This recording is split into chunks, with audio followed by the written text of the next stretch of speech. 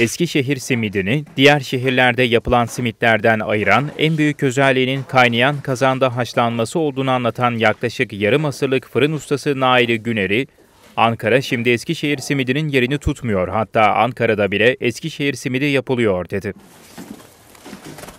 Eskişehirli fırıncı Nail Güner'i, Türk Patent ve Marka Kurumu'nca coğrafi olarak tescillenen meşhur Eskişehir simidinin tarifini anlattı. Diğer şehirlerde yapılan simitlere göre en büyük özelliği kaynayan kazanda olması. Haşlanarak, susamlanarak meşe odunda pişmesi en büyük özelliği.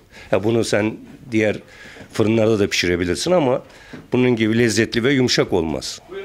Şimdi çeşitli illerde simitler yapılıyor ama burada genel Eskişehir'e gelenler özellikle Eskişehir simidini tercih ediyorlar. Ankara simidin yerini tutmuyor. Ankara'da bile Eskişehir simidi yapıyorlar artık. Maya fırına girme, girmeden önce e, un, tuz, un, tuz, maya bunu ikisi üçü bir arada yoğuruyoruz. Ondan sonra bunları bir yarım saat dinlendirmeye alıyoruz. Maya, maya gelsin diye. Ondan sonra işlemeye başlıyoruz. Kabarttıktan sonra işleme koyuyoruz. Yarım saatte hamurunu hazırlıyoruz. E, toplam bir saat buluyor bu sin- esirsimin çıkması. E, meşe odunuyla pişiyor. Kara fırında olduğu için lezzeti burada işte. Şimdi iyi dinlendirmek lazım hamuru. Dinlenmiş işte e, gevrek ve çıtırlığı bundandır hamurun dinlenmesinden.